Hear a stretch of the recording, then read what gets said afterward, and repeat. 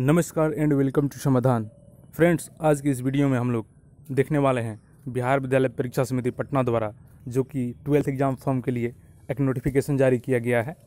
तो आप देख सकते हैं कि जैसे हमारा थंबनेल है, बिहार विद्यालय परीक्षा समिति वीक ब्रेकिंग तो जी हाँ आप सही देख रहे हैं, ट्वेल्थ एग्ज़ाम फॉर्म भरने की तिथि जारी कर दी गई है। तो इस वीडियो में हम लोग जानेंगे कि कब तक हमारा अंतिम तिथि है फॉर्म फिल करने की, और इसमें फॉर्म को कैसे भरना है, ये सारा चीज़ हम लोग जानेंगे। तो वीडियो में बने रहिए और चैनल पर नए हैं तो चैनल को सब्सक्राइब कर लीजिए, क्योंकि जो भी नया अपडेट आता है तो आपको तुरंत सबसे पहले मिल जाया करेगा। तो देख सकते हैं कि यहाँ पे एग्ज़ाम फॉर्म भरने की तिथि जारी। तो अब यहाँ पे हमें ये देखना है कि एग्ज़ाम फॉर्म कब से फिल किया जाएगा। तो एग्ज़ाम फिल का तिथि याद कर लीजिए, ये है फोर्टीन ऑफ़ अगस्त यानी चौदह अगस्त से आपका फॉर्म फिल करने का तिथि शुरू हो चुका है और ये कब तक भरा जाएगा?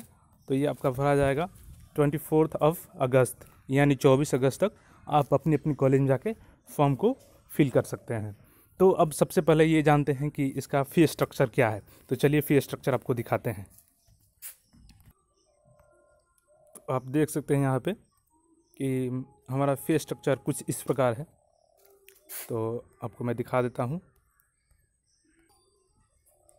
तो हमारा आवेदन शुल्क है वो सत्तर रुपया है। ये जो फ़र्स्ट रो है, ये फ़र्स्ट रो है हमारा जनरल कैटेगरी के लिए है।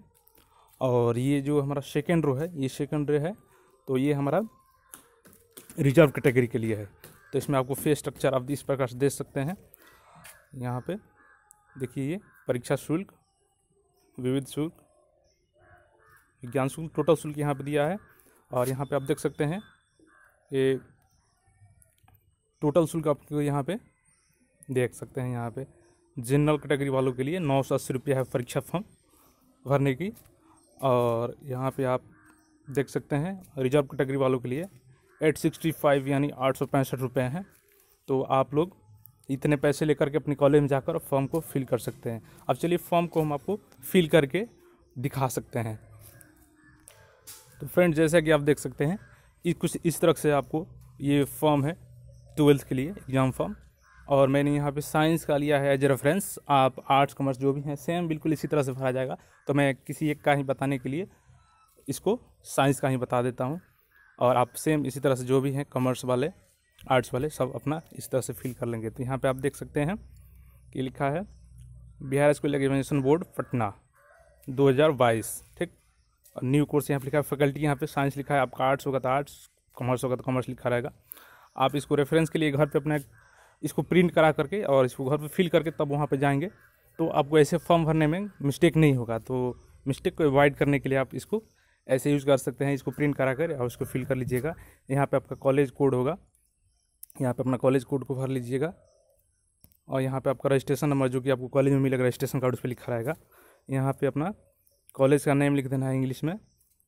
और यहाँ पे आपको, यहाँ पे फ़ोटो को लगा देना है, यहाँ पे सिग्नेचर कर देना है।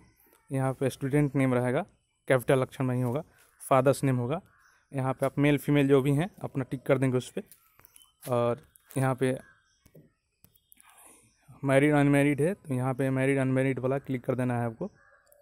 और आगे यहाँ पे आपको अपना कैटेगरी फिल कर देना है। आप देख सकते हैं, यहाँ पे जो आपका है कैटेगरी फिल कर लीजिएगा।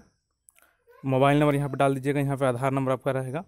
यहाँ पे ईमेल आईडी है, आप रेगुलर है तो रेगुलर, प्राइवेट से भर रहे हैं तो प्राइवेट, अगर आप पिछले कैंडिडेट हैं इम्प्रूवमेंट्स दे रहे हैं तो इम्प्रूवमेंट अगर फेलियर कैंडिडेट है तो आप एक्स में डालेंगे एक्स रेगुलर और यहाँ पे आगे और देख सकते हैं, यहाँ पे मैट्रिक किस बोर्ड से अपने पास किया है, उसको यहाँ पे फिल करना है।